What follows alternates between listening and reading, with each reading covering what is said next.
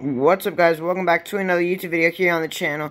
And as you guys see here, I am at the uh, Sentinels graveyard.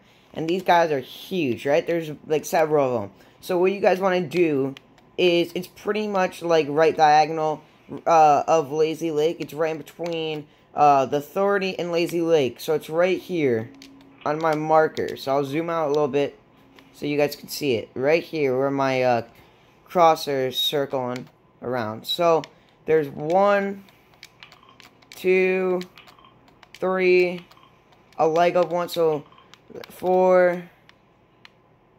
So there's like four or five of them. So just come over here to my marker, and here you will find the big giant sentinels. So I already got one of them done, but this is a challenge. You need to dance on different sentinel heads at the sentinel graveyard, and that's where I am currently. So I already did one, once again, so I wanted to make this video to help you guys out. Hopefully you guys didn't already do them. I don't know if the guy's head fell off or what. So, I don't know if you guys knew this, if any of you guys came to this location yet. But this guy's palm, right? There's like three of these. Look. Pretty cool, huh? I once again don't know if you guys knew that, but nice little thing taught there. So, Get on top of his head, and it's emote.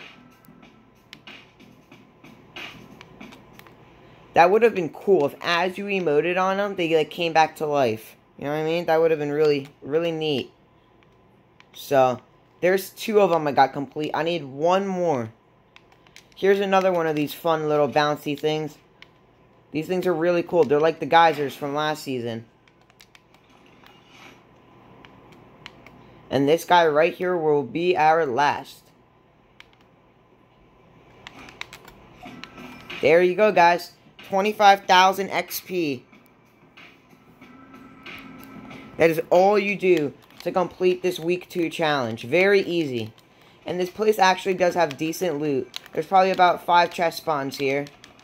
So, I hope you guys enjoyed this video. Make sure to drop a like if it helped you out. And uh, comment below telling me you guys what you guys think of this week's uh, challenges. So uh, make sure to subscribe. Peace out, guys.